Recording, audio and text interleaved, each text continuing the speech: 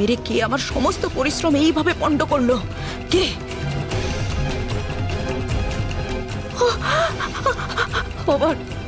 আবার সেই আহ!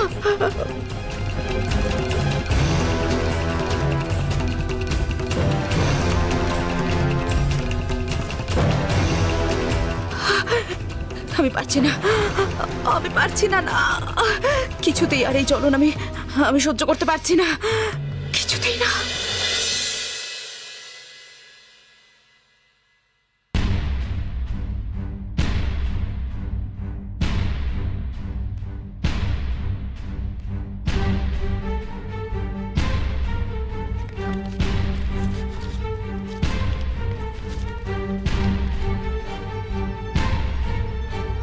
আরে এটা তো লগ্নার হ্যান্ড রাইটিং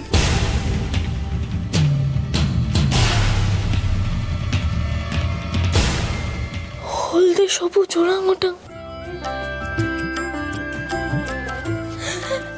মালির কোথায় তুই? মালির মেয়ে, কোথায় তুই?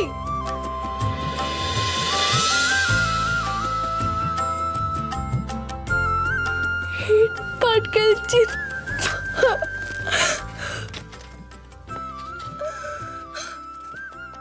ভয় পেও না, লাট সাহেব। রাজিমার কিচ্ছু হবে না। রাজিমা একদম ভালো হয়ে যাবে, তুমি দেখে নিও। ওই মালির মেয়েটা একবারের জন্য আমার রুমে এসে এই কথাটা আমি বলতে পারল না। ও তো আমার বেস্ট ফ্রেন্ড তাও ওর এত জেদ। একবারের জন্য এই বাড়িতে আসতে পারল না। ও আসলে তো আমি আরও একসঙ্গে ঠাকুরের কাছে প্রে করতে পারতাম, যাতে রাজিমা সুস্থ হয়ে যায়। ও তাও একবারের সঙ্গেও আমার সঙ্গে দেখা করতে এলো না।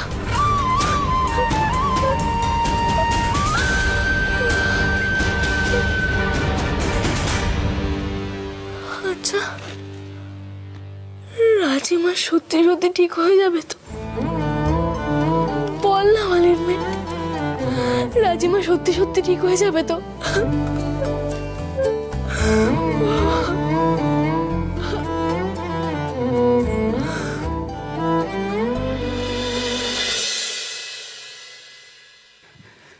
অবন্তিকা তুমি আবার অসফল হলে? আবার? সূর্যদেব আমার হাতের মধ্যে ছিল। মৃত্যুর করার ফাঁদে আমি ওকে বেঁধেও ফেলেছিলাম কিন্তু কিন্তু সামান্য একটা পাথর। আমার আমার সমস্ত পরিকল্পনা একেবারে ধ্বংস করে দিল। পাথর? সামান্য একটা পাথর? হাসালে আবন্তিকা, সত্যিই তুমি হাসালে।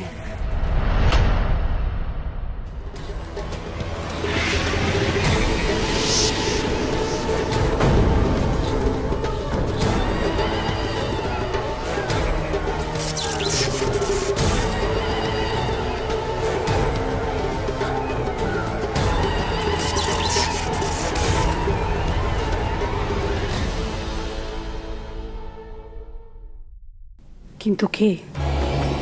কে এইভাবে পাথর ছুটতে পারে? যতদূর অনুধাবন করেছি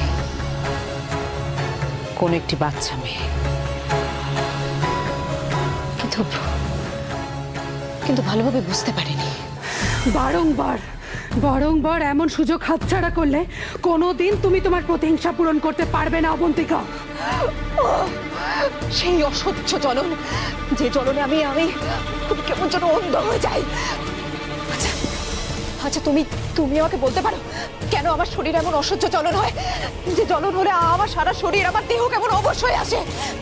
তুমি আমাকে বলতে পারো, আমার আমার শক্তিতে কি কম আছে?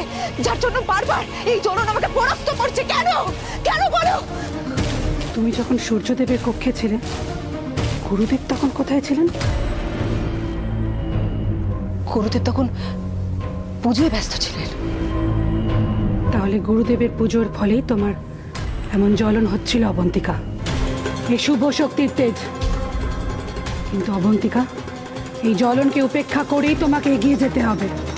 যত যত কষ্ট হোক না কেন, তা সহ্য করতে না পারলে কোনো দিন তোমার লক্ষ্য সাধন হবে না।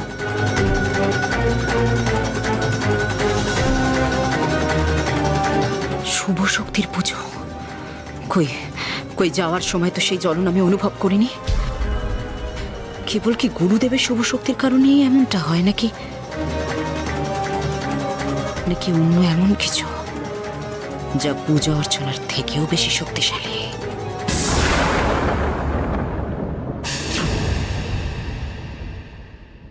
ओम नमो महादेवगमात्मानं महायोगी महेश्वरं महापापहरगदेव मघुराय नमो नमः ओम नमो ब्रह्मण्यदेवाय गो ब्राह्मण्यहिताय च जगद्दिताय कृष्णाय गोविन्दाय नमो नमो नमस्ते जलदहासु नमस्ते जलसाय स्वरास्त्वात्मे ভন্ডামা এখনো চলছে হ্যাঁ চলছে তো আচ্ছা আমাকে কেউ বোঝাতে পারবে যে লাভটা কি হচ্ছে এতে মা উঠে বসেছে, না শরীর থেকে বিষ নেমেছে, কি হয়েছে? কোন উপকারটা হয়েছে? কেউ বোঝাতে পারবে কি লাভটা হয়েছে? এখানে মা মা মা উঠে বসেছে, না শরীর থেকে বিষটা নেমেছে? উঠে বসেছে, না বিষটা নেমেছে? কোনটা কোনটা? হ্যালো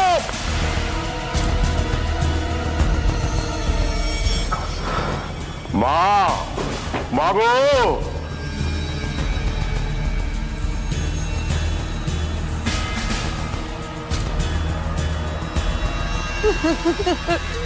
কি হবে এবার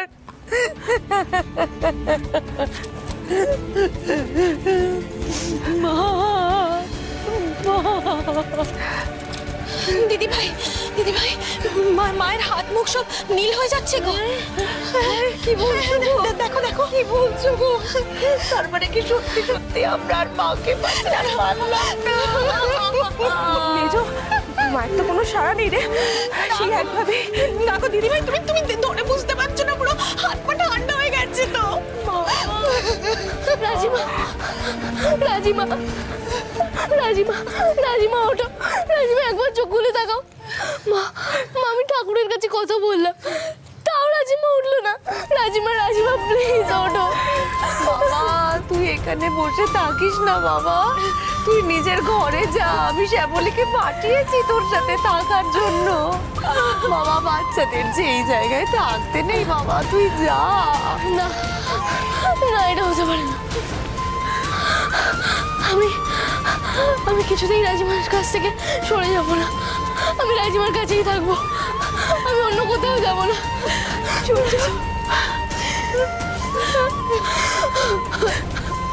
শোনা, তুই এখন এখান থেকে যা নিজের ঘরে যা।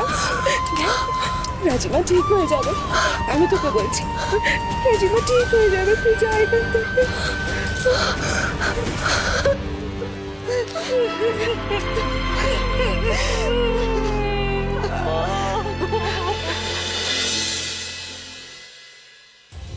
विपदहन्ताय नमः ओम नमो ब्रह्मण्यदेवाय नमो नमो वाय नमः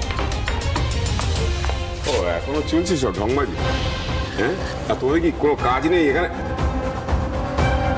এ বাবা, নাটক দাঁড়াও তো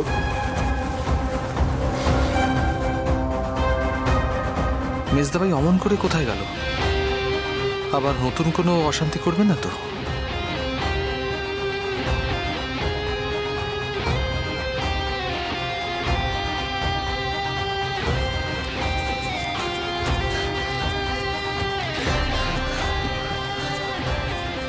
ঠাকুর ঠাকুর প্লিজ প্লিজ ঠাকুর, তুমি রাজিমাকে ঠিক করে দাও। আচ্ছা লগ্না তো আমায় লিখেছিল। রাজিমা ঠিক হয়ে যাবে। ঠাকুর, তুমি তো লগ্নার প্রত্যেকটা কথা শোনো। তুমি প্লিজ প্লিজ তুমি রাজিমাকে ঠিক করে দাও। আগের মতো করে দাও। যে কোনো ম্যাজিক করে, যে কোনো ম্যাজিক করে রাজিমাকে সুস্থ করে তোলো। ঠাকুর প্লিজ প্লিজ ঠাকুর।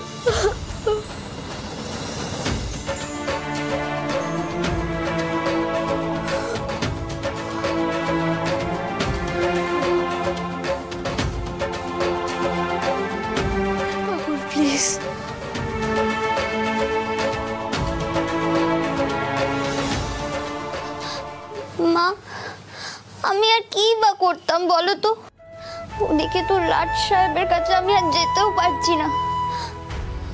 রাজিমার শরীর এত খারাপ জেনেও তো আমি মা মা আমি জানি, লাট সাহেবের মন খুব খারাপ হয়ে আছে। ও খুব কান্নাকাটিও করছে। আমারও তো এদিকে মন কেমন করছে। মা মা, তুমি একবার ভগবানকে বলে দেখো না গো। আমি জানি উনি ঠিক তোমার কথা শুনবেন, মা। প্লিজ, মা, একবার বলো না, মা। মা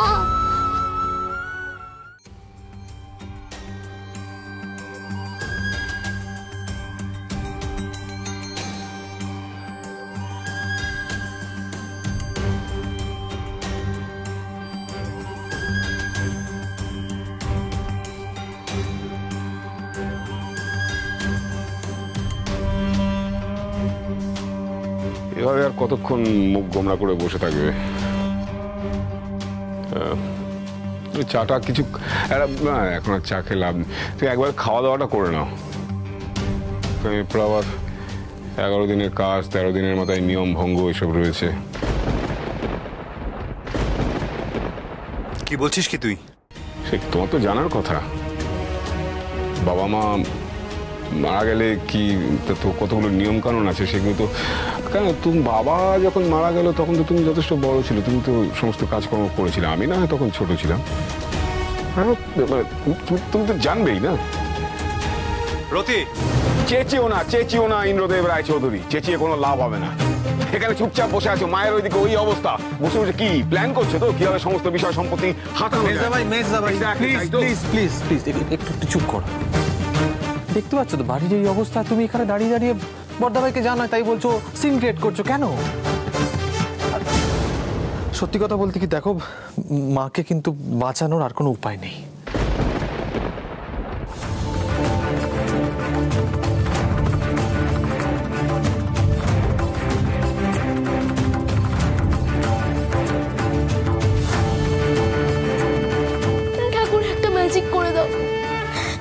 ম্যাজিক করে রাজিমাকে সুস্থ করে দাও ঠাকুর। ঠাকুর প্লিজ প্লিজ ঠাকুর।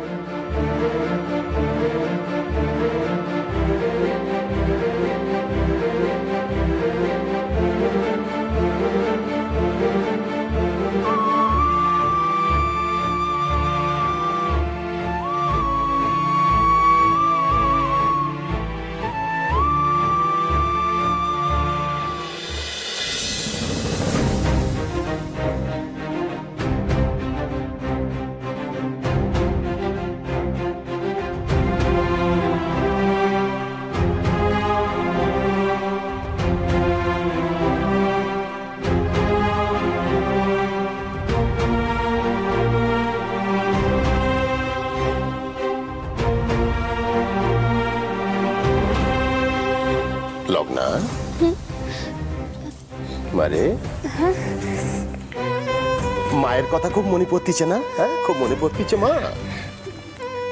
বাবা বাবা রাজিমা ঠিক ভালো হয়ে যাবে তো? আমি তো তখন থেকে মাকে সেই কথাই ভুলে যাচ্ছি। জানি তো জানি তো। ও বাড়ির সবার জন্য আমার খুব মন খারাপ করছে গো বাবা। খুব মন খারাপ করছে গো। কাঁদে না কাঁদে না। কাঁদে না মা কাঁদে না কাঁদে না। আমি তো জানি তুই তো তোর মন থেকেই প্রার্থনা করতেছিস। মায়ের কাছে বলতেছিস তোর পরাণটা তো কান্তিছে মা। তোর কথা না শুনে পারে, না শুনে পারে। এবার দেখিস তোর রাজিবা সত্যি সত্যি ভালো হয়ে যাবে, সত্যি সত্যি ভালো হয়ে যাবে। দেখিনিস? দেখিনিস?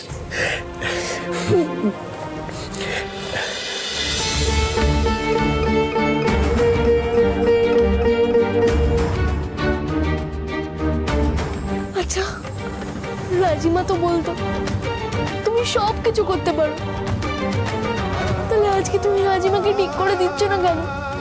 ঠাকুর প্লিজ প্লিজ ঠাকুর। ঠাকুর রাজিমাকে সুস্থ করে তোলো।